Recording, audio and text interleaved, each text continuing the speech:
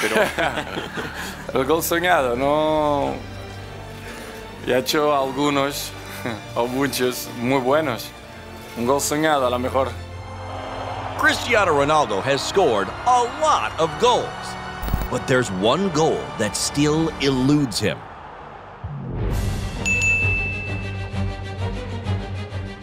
Fintar los 11 jugadores y hacer gol. Ese es un gol de, de PlayStation, que pienso que es casi imposible, pero ya veremos un día. Do you imagine that? Champions League final.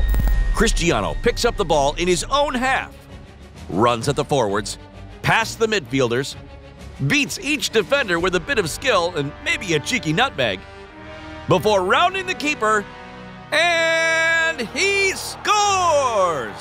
What a goal it would be!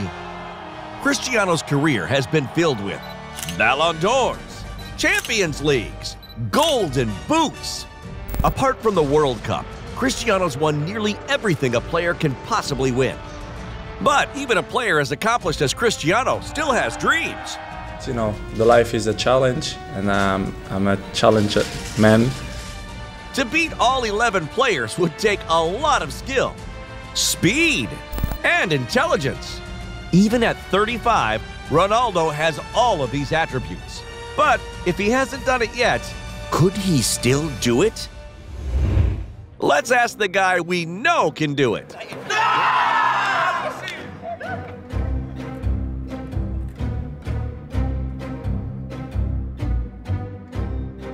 Ronaldo has scored 725 goals to date in his career for club and country.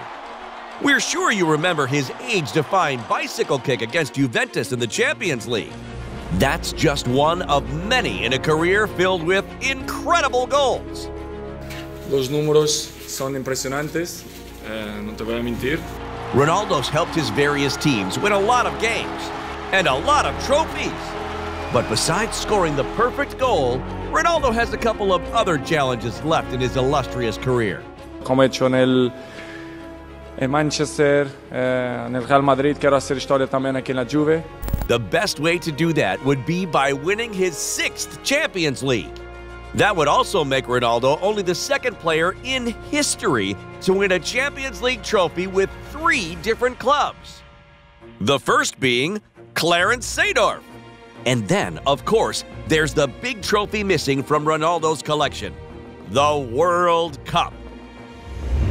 In 2006, Ronaldo made the semifinals only to lose to his future coach, Zinedine Zidane. Pero es, es el fútbol, ya, ya pasó. In 2010 and 2014, Portugal failed to make it past the round of 16. And in 2018, despite Ronaldo's heroics in the group stage, Portugal lost in the round of 16 again, this time to Uruguay. No, Luis Suarez didn't bite anyone that day. So even if Ronaldo has accomplished so much, there is still more for him to achieve. And we hope we get more years of his goals and trophies. Even if he will never measure up to the GOAT know what it's about and you know what I can do.